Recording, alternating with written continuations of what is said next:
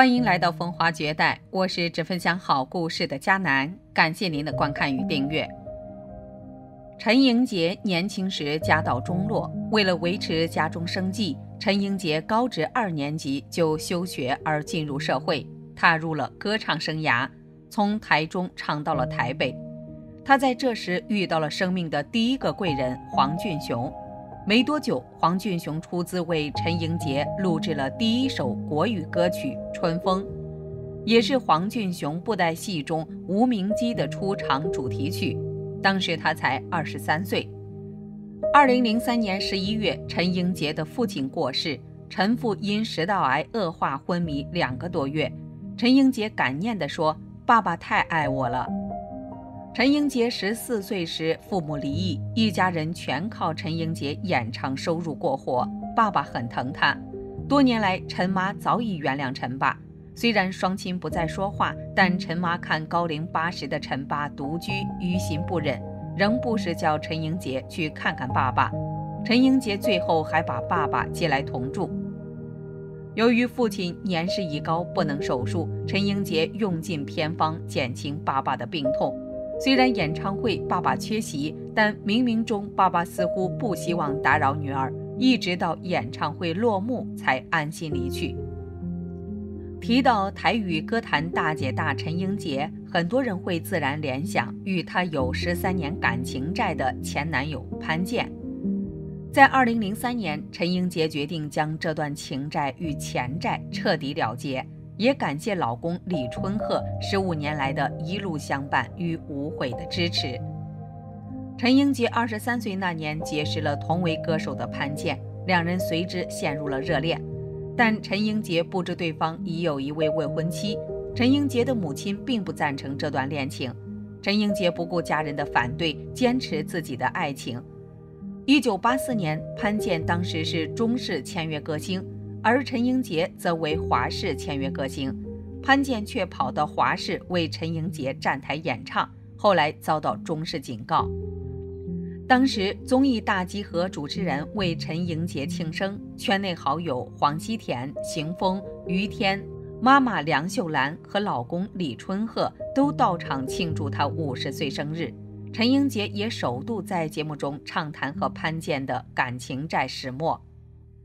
当年陈英杰为爱无怨无悔养男友全家人，甚至不顾一切为潘健背负高达千万的债务。母亲为了此事差点撒手人寰。对于这段过往，陈英杰表示，事隔多年，她早已释怀。在陈英杰人生最低潮时，老公李春鹤适时出现，在十五年里一直陪在身旁，从没离开过。陈英杰说：“老公是一个朴实、脚踏实地又爱家的男人。”李春鹤则说：“陈英杰虽然不会做菜，但很尽心做家事，还会帮婆婆洗澡、梳头，更为她戒掉十多年的牌瘾。”虽然这段婚姻当初不被大家看好，但陈英杰、李春鹤夫妻两人感情依旧很好。唯一的遗憾是陈英杰没能替他生个孩子。不过李春鹤深情地说。我宁可不要小孩，只要他健康，一切随缘就好。虽然当时制作单位打了近百通电话，也透过各种管道试图和潘健联络，但潘健已向制作人表明，因为还有债务在身，不便现身。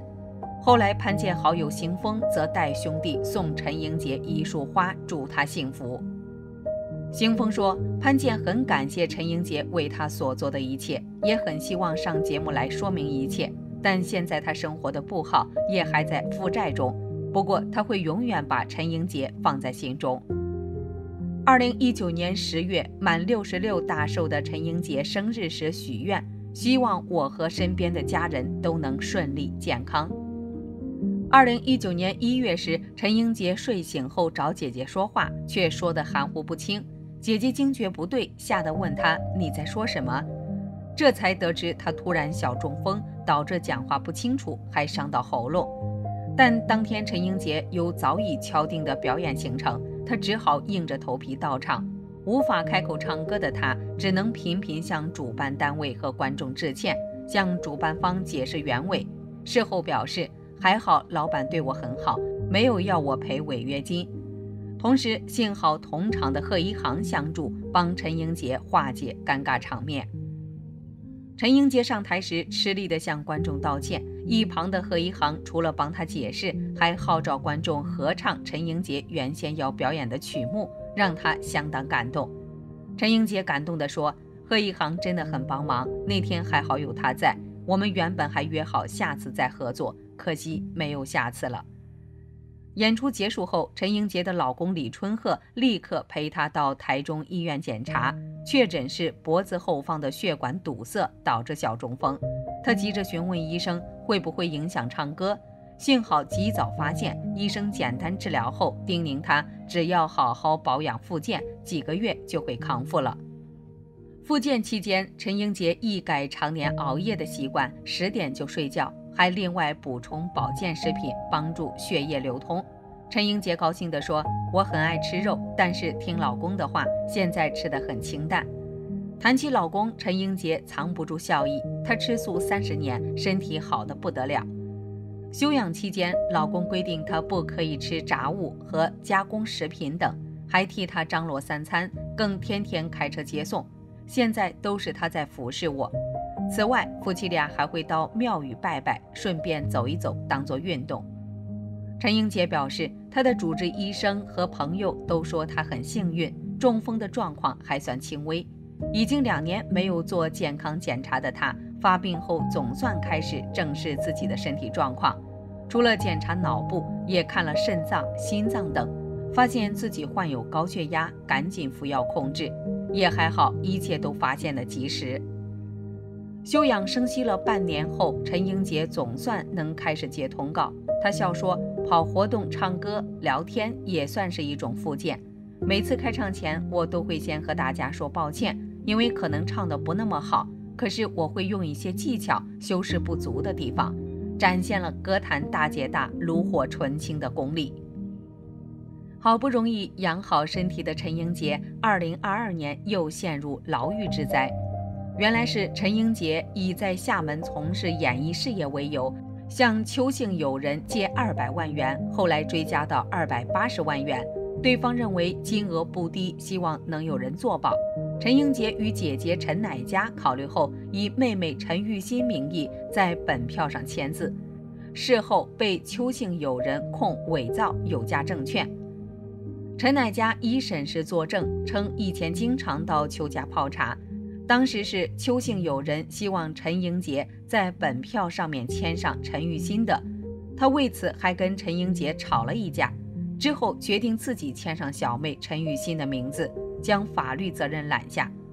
一审认定陈英杰教唆原无伪造本票犯意的陈乃佳，陈乃佳因伪造有价证券被判刑一年七月，缓刑三年；陈英杰教唆伪造本票，判三年两月刑。案件上诉后，高院认为，依陈乃佳的证词，他会在本票上伪签小妹的姓名、身份证字号，是应邱姓友人的要求，难以认定是陈英杰因为言语刺激才伪造有价证券，改判无罪。更高法院一审开庭时，陈英杰解释，本票虽是二百八十万元，但实际上只拿到三十余万，其余的金额都是过往的借款。邱姓友人称八十万是陈玉新要的，若真如此，根本不够。陈英杰对于实际借了多少钱交代不清，审判长质疑怎么会不记得？你的目的是借钱啊？他答：我觉得我没有犯罪。检察官表示要借钱的是陈英杰，不是陈乃佳。邱姓友人因认为多一个人签本票可多一份保障，所以希望要有共同发票人。最高法院认为。原判决仅凭陈英杰的姐姐陈乃佳前后相异证词中的部分内容，就认为陈乃佳是自己听从邱姓友人的指示而伪造本票做担保，有理由欠备与前后理由矛盾的缺失。法院指出，无罪判决并未斟酌陈英杰不否认在陈乃佳一开始拒绝伪造本票时，有对姐姐施加心理压力、动之以情的说辞。也未就相关实证做合理的比较，即为有利陈英杰的认定，也有理由不备的唯物，因此撤销发回高院更审。陈英杰曾抱怨姐姐也帮不了忙，弟弟也帮不了忙，家是我养的。检方认为他诉苦对象是大姐，当然是希望陈乃佳帮忙，陈乃佳才改变拒签立场。最后结果是改判为一年八月徒刑，缓刑四年。不过他半年内需还邱姓友人三十万元。二零一七年八月现身录影时，陈英杰声音听起来些微沙哑。曾经因为喉咙长息肉中断歌唱生涯，但唱起歌情感依旧丝丝入扣。最让陈英杰伤神的，恐怕就是歌手潘健。当年为了男友投资失利，陈英杰一口气背债千万。艺人向娃说，潘健积极想做生意，有做一个好像是灭火器的生意。当然，艺人要转型不是那么容易。后来经济调度又出了一点状况，那个时候有一点点就是开票的状况，还好后来陈英杰唱到了这首红遍大街小巷的《风飞沙》，卖破百万张，让他终于把债还清。但这前前后后也还了七年之久。因为跟向娃之间也一度有金钱纠纷，陈英杰还曾为了朋友又背千万债务，贵为歌坛大姐大，却几度为钱陷入困境。陈英杰如今除了接戏活动，已经比较少出现在荧幕前，再占版面又是传出欠债伪签本票，演艺人生可谓大起大落。今天的故事就讲到这里了。如果您对本期视频有何感想或建议，欢迎在下方留言。如果喜欢本频道，别忘了点击订阅。下期视频我们再会。